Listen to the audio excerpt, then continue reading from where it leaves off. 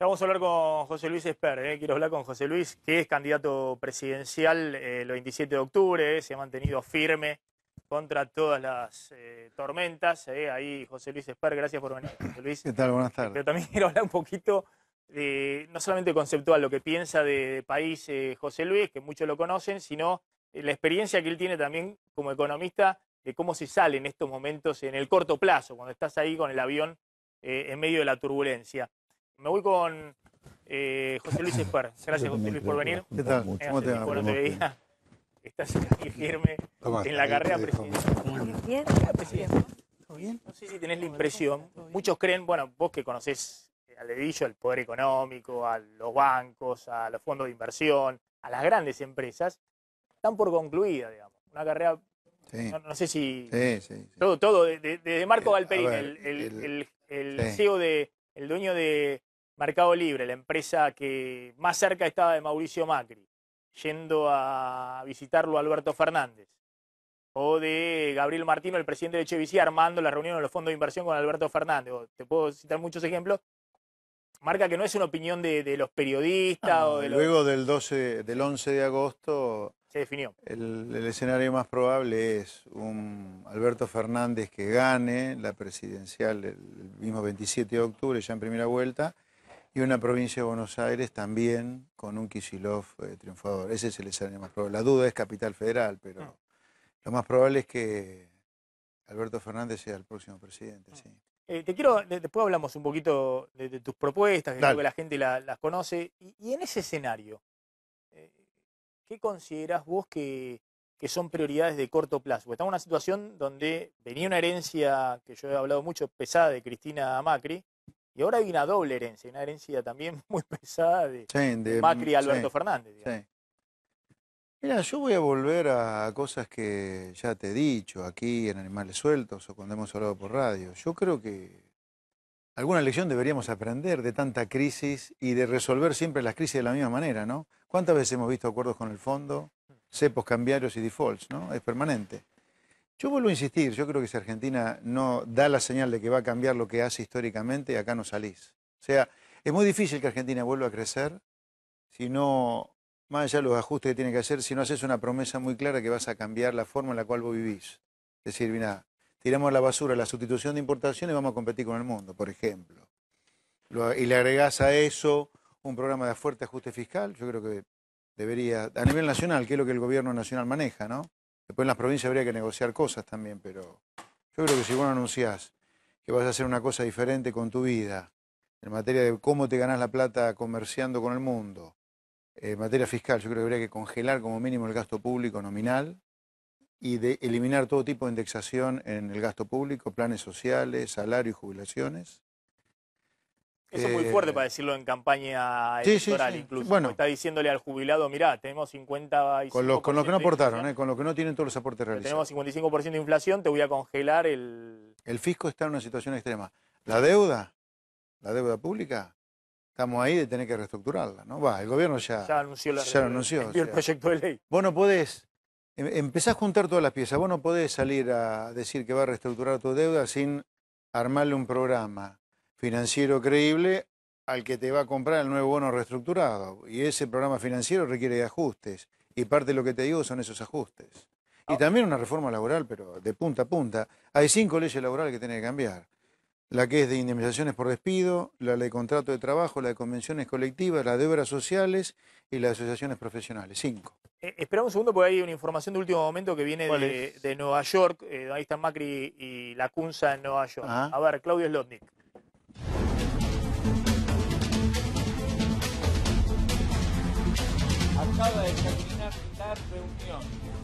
En eh, la Argentina y los funcionarios del Fondo Monetario, de la cual participó Mauricio Macri. Mauricio Macri junto a Hernán Lacunza, junto a Guido Sanderis, participaron de este cónclave donde del lado del fondo estuvieron David Lipton, que es el número dos, en los hechos el número uno del organismo, y también Alejandro Werner, Macri dijo antes de ingresar al encuentro, quiero venir a escuchar qué tiene para decir el fondo sobre la Argentina.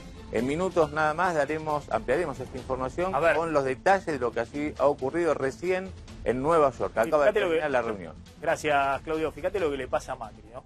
Un presidente argentino participando de una reunión con Werner, eh, Caldarelli, que son los, los, los técnicos, los, lápiz, técnicos de- del FMI, los economistas, los burócratas, como quieras llamarlo.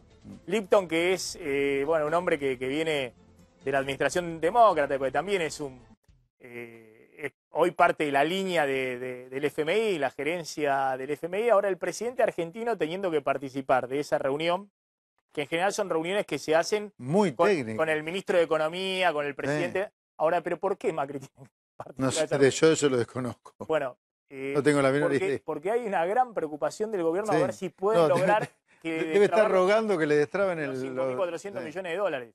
Guarda que si no vienen los 5.400, el mercado pensaba que el escenario más probable era que vinieran esos 5.400. Así que si no vienen, este es un cisne negro, no es joda. Eh, Si no vienen, eh, hay que endurecer el cepo o, o tenés que tener un dólar más alto, digamos.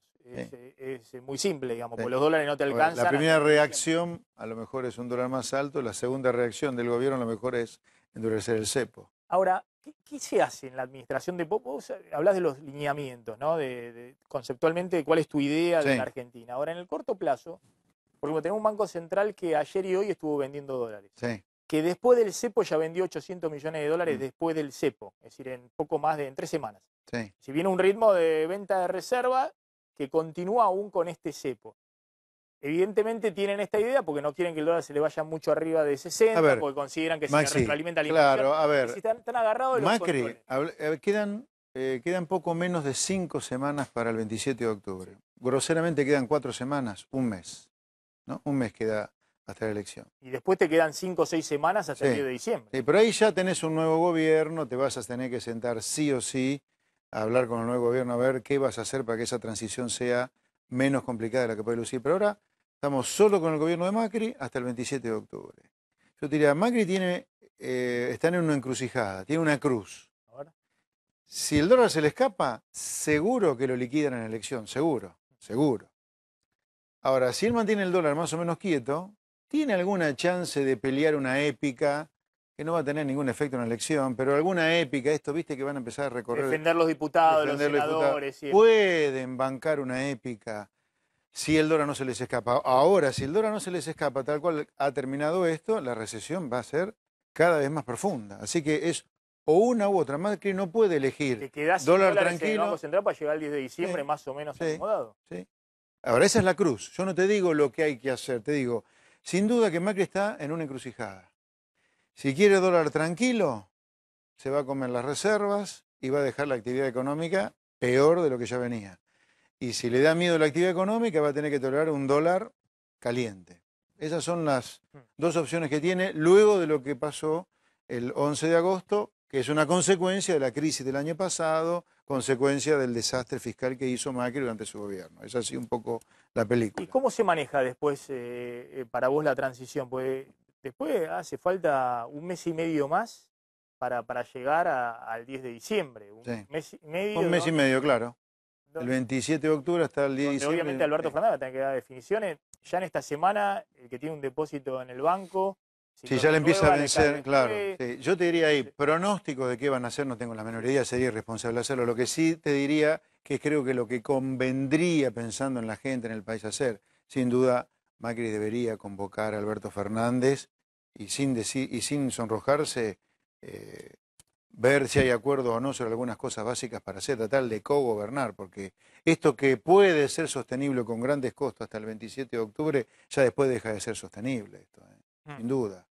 Macri debería llamarlo a Alberto Fernández después del 27 de octubre. Decir, Yo creo de haberlo llamado antes, pero bueno, eso a lo mejor no ocurre ya. eh, ¿cuál es el riesgo que tiene Alberto Fernández? Que llegue con cero reserva en el Banco Central, digamos, y que con, Claro. con, con cepo Claro. y con una deuda reestructurada Claro. a medio camino, digamos. Sí, con un sí, default a medio camino. Ese es el riesgo. Alberto Fernández debería negociar, no, mirá, no me rife toda la reserva, bancate un poco vos, Macri, parte del costo de que el dólar suba, pero no me dejen Banco Central sin reserva. Eso como mínimo, yo si fuera Alberto Fernández o técnico cercano a Alberto Vos, vos Fernández. hablás del dólar suba, claro, porque vos lo conocés como economista, pero para la gente dice, bueno, el dólar suba y se asusta, digamos.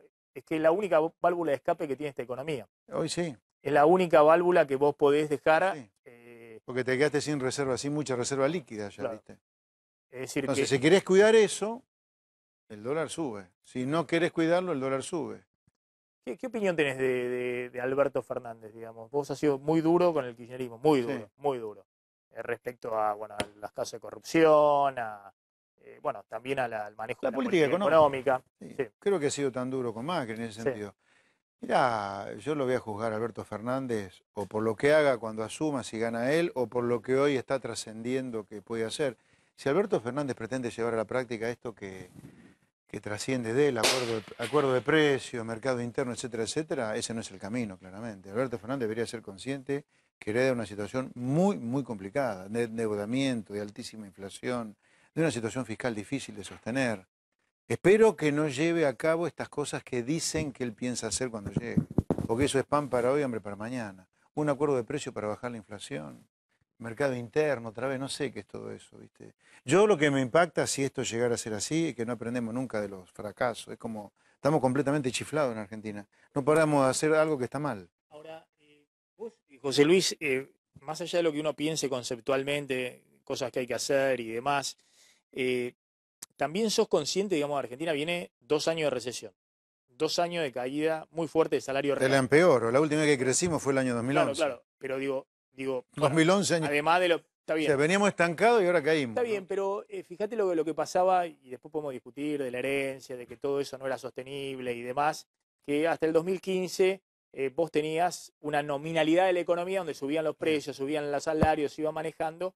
Bueno, así te comiste toda la reserva del Banco Central, estabas con cepo, Ahora te, lo- volviste a comer. ahora, ahora te comiste la chance que tenías de endeudarte. Sí, Tenías bajo endeudamiento, Mm. Macri emitió más de 100 mil millones de dólares de, de deuda, sí. ya no Y recibimos 50 mil del fondo adicionales. más 50 mil, 150 mil millones de dólares, ya te comiste todo eso. Mm. Encima ahora tenés que empezar a devolverlo eso. Que no lo vas a poder volver, va a tener que reestructurar porque el gobierno ya dijo que va a Durante el reestructurar. kirchnerismo tuviste el colchón de dólares de la soja, digamos. Sí. Te llenaron la reserva 50 mil millones de dólares, Cristina terminó con 22 mil, solamente el crédito de China dentro de la reserva. Sí. Eh, durante el macrismo tuviste 150 mil millones de dólares de préstamo en dólares, Sí. privado más los 50 mil del fondo. Te los comiste y ahora tenés que empezar a devolverlo. sí. Más allá de eso, que obviamente es una, una cruz para el próximo gobierno muy, muy grande, digamos. ¿eh? Las dos herencias tan pesadas. Eh, ahora, también tiene una demanda social muy fuerte Alberto Fernández, que si Argentina se come el año que viene un tercer año de recesión, más allá de Alberto Fernández, el peronismo y demás, es muy difícil contener la situación social. ¿No, no, no considerás, digamos, que ahí una cosa es lo que vemos todos en el pizarrón y otra cosa es Y a ver, pero yo creo si te que explotó o no te explotó la calle. yo creo que si Alberto Fernández es elegido presidente y el primer día de gobierno, en lugar de andar bailoteando como lo hizo Macri el día de diciembre, se pone con cara de traste frente a la televisión por cadena y anuncia los problemas serios que tiene Argentina, en la sociedad argentina acompaña. Él es peronista, lo puede contener a todo esto. No tengo duda yo de eso. ¿eh? Si lo quiere hacer. Yo creo que es peor que por querer eh, aplacar algo, la demanda social, pensemos que acá es lo único que hay que atender, digamos. Yo creo que tenés desequilibrios muy complicados. Además, hay una cosa, insisto con esto. Nadie te va a aceptar una reprogramación de la deuda sin que vos le dé un panorama de para dónde va la futura capacidad de repago. Y eso es menos plata para repartir. Pero te ¿eh? doy un ejemplo de una medida que vos, eh, que se ha discutido mucho entre los economistas, de la indexación del gasto público, ¿no? Y Sí. básicamente, Eso hay que eliminarlo. y vas a- básicamente las jubilaciones. Imagínate si eh, el próximo presidente anuncia, miren, eh, no hay indexación de más de Sí, la... Es que, bueno, pero de es las parte... jubilaciones, con, con 55% de inflación que va a dar la inflación a diciembre, 54%. Sí. Inmediatamente le explotan los sindicatos, le explota la... Bueno, depende, depende cómo lo armes. Obviamente, si vos no sos un presidente que decís la verdad, te va a explotar todo. Ahora, ¿por qué no decís la verdad? Ahí está la gran falla de Macri. El 10 de diciembre del 2015 era para decirle, señores, estamos a punto de volar por los aires, ¿eh? si no hacemos lo que hay que hacer. Estuvieron dando rodeos, rodeos, rodeos sobre lo que hay que hacer, terminó explotando todo en 2018 y a lo mejor pierden la elección por eso. ¿Me entendés? O sea, lo que vos no querés pagar al inicio por no vender humo, por vender humo, lo pagás a la larga. ¿eh? O sea, yo creo que acá lo que convendría es blanquear muy bien la situación. Igualmente vos estás aclarando que no es para, no sería eh, lo que vos proponés para, para todos los jubilados, sino para No, lo, aquellos que no... que ingresaban que- claro, exacto, Sí. exacto. No hay, porque eso hay que decir, la verdad, lo estuvieron pagando los activos, la parte que no aportaron los jubilados por el jubileo, lo estuvieron pagando los activos. Bueno, ahora no hay más, el activo no da más tampoco de pagar impuestos. Sí, lo que pasa es que es delicado, porque hay una economía. Bueno, eh, ¿querés es meterte con algo- que tiene ¿Querés meterte con algo más delicado? en negro. ¿Está bien? ¿Querés O meterte con algo más delicado? Pero no aportan formalmente. Algo tan delicado como eso son los planes sociales. Sí, no se puede indexar más, sí. Es una situación grave en materia fiscal. Pero te repito, Ahora te vos no el lo- conurbano. Mirá, yo te planteo otra cosa. Nadie te va a aceptar una reprogramación de la deuda si vos no das la sensación de que vas a repagar la nueva deuda. ¿Y quiere que te explote la deuda, que vamos a defaultear al estilo 2001? Si no, eso es mucho peor para el conurbano y para cualquier argentino medio. ¿No tenés la, la impresión de, eh, más allá de la idea que tenía hace un mes atrás Alberto Fernández respecto a la deuda y lo que enviaba a través de distintos mensajeros a lo marcado y la reunión Sí. esta que tuvo, que, que Macri le envió el proyecto de reestructuración de, de la deuda y ya explotó la deuda, digamos? Que, que le explotó con, con el derrumbe de los bonos y demás, que Argentina está nuevamente en un proceso de... Sí, bueno, a ver, yo creo que el gobierno se equivocó, entraron en pánico, porque una licitación de letes no le dio bien o no le dio nada, porque nadie ingresó, se asustaron y reperfilaron la deuda, eso te generó una corrida peor y detrás de eso vino el Una cepo. corrida bancaria. le- Sí, y detrás de eso vino el cepo. Y el cepo agravó las cosas todavía, porque no pará de perder dólares. O sea, los dólares se están se, yendo. se asustaron como se asustaron en su momento cuando fueron corriendo al Fondo Monetario. Yo creo que sí. Es decir, que no, no aguantaron la corrida del año pasado y rápidamente se fueron Sí. a- al fondo. Y Sí. generaron todavía más. eh, Eh, Esto, lo del fondo ponele, pero esto, de por una licitación haber entrado en pánico y haber anunciado una reestructuración de la deuda, que es un nuevo default. Ya te calificaron en default selectivo por ahora. Es decir, decís mala praxis. eh, Sí, no, esa parte se equivocaron seriamente. Yo hubiera hecho una cosa diferente desde el 12 de agosto. Después del golpazo del 12 de agosto, yo hubiera convocado un gobierno más de unidad nacional y acordar alguna agenda común. Una última pregunta de Slotnik para, Sí. para Expert. Claro, expert, eh, digamos, en su caso, digamos, ante esta situación, digamos, ¿hay algo para hacer en lo- en lo urgente, digamos, para, para que no volver a chocar, digamos, si no vienen estos 5.400 millones del fondo? O, digamos, ¿hay algo que se pueda hacer que dependa de nosotros ya mismo? De nosotros de Argentina, el gobierno, decís vos. Sí, sí, A ver, yo esto lo dije el, el 12 de agosto, lo que sugerí Macri que convocara a Alberto Fernández y a hablar de una agenda común porque el golpe de mercado iba a ser fuerte y fue, fue un golpazo. Una semana después, cuando ya el dólar estaba cerca de 60, estoy hablando del 19 de octubre, el lunes siguiente al 12, lo que yo dije es, esta gran devaluación va a acelerar la inflación y va a ser un golpe para el bolsillo de la gente fenomenal. Acá vamos a ingresar en recesión otra vez, van a caer los salarios reales, las empresas van a cerrar, van a quebrar. Dije, la clase política, eh, voy a contestar tu pregunta, no es que me estoy yendo, eh, me voy para volver. La clase política debería acercarse a la gente, congraciarse con la gente y decir, bueno, nosotros también nos vamos a ajustar. Vamos a congelar el gasto público de acá a fin de año. Eso que dije en ese momento lo diría hoy. Algo sí podemos hacer. ¿Qué? Eso. Una cosa eh, simbólica, digamos. de un O- gesto- no, un sim- gesto- simbólico, pero no, no, no simbólico. Sí. Pues es un costo político muy importante que vos vas a pagar. Pero bancátela. La gente no da más. Dale alguna señal que vos estás cerca de ellos. Vas a- ¿Cuál es tu expectativa para el 27? ¿Vas a seguir en, en política? ¿Vas a Sí, sí, sí, sí. No, no, yo vine para quedarme, sin ¿Vas- duda. ¿Ah, sí? Ah, Esto mirá sigue ¿Te 2021. gustó? ¿Te picó el bichito? de- Mira, eh, más que picarme, ¿sabés qué. ¿sabés qué me, me tiene, me tiene sacado? Sé que me tiene sacado de, de la preocupación. Es, puede ser que Argentina. Miralo desde afuera como extraterrestre la Argentina. 2015 usa Macri para sacarse encima el kirchnerismo y ahora usa el kirchnerismo para sacarse encima a Macri. Estamos chiflados los argentinos. El mismo gobierno que te saca el cepo te mete en el cepo. El mismo gobierno que te saca el default te mete en default. Estamos chiflados, chiflados. Estoy cada vez más preocupado por lo loco que estamos. Quiero ver si, de aportar un poco de sentido común en la discusión de la política económica, por lo menos. José Luis Esper, gracias. Un placer, eh. gracias. ya nos estamos encontrando y bueno, y éxitos ahí para el 25 Muy de octubre. muy amable. Vamos volando una tanda, ya volvemos.